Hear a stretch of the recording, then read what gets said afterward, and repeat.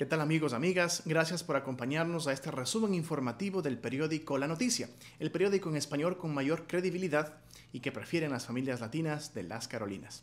Comenzamos con esta información. Latino gana juicio contra un empleador que lo golpeó.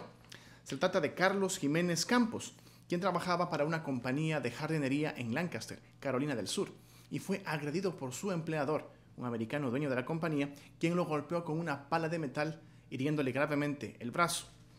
Se inició un juicio y más de dos años después de pruebas, testigos y una gran cantidad de trámites, un jurado de la localidad le dio el juicio favorable al inmigrante. Sin embargo, de los 45 mil dólares que se plantearon originalmente en la demanda, la víctima apenas recibirá 5 mil dólares, con los cuales tendrá que pagar gastos como el de su abogado. Carlos Jiménez Campos asegura que eso se trata de una injusticia, porque a pesar de que ganó el juicio, la sanción contra agresor fue apenas una mínima multa. Seguimos con más información y un proyecto busca autorización de padres para que se pueda hacer castigo corporal en las escuelas. Es una propuesta de ley de Carolina del Norte que propone que los padres autoricen por escrito a las escuelas que se pueda utilizar los castigos físicos como una forma de disciplina. Este estado, Carolina del Norte, es uno de los 19 estados del país que aún cuentan con una legislación de esta naturaleza. Aunque no se utiliza este tipo de castigos en todos los sistemas escolares, aún es empleado en ciertos condados rurales.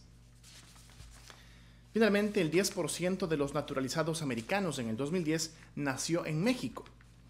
De los casi 600.000 eh, residentes permanentes que juramentaron como ciudadanos estadounidenses en el 2010, 10% son originarios de México.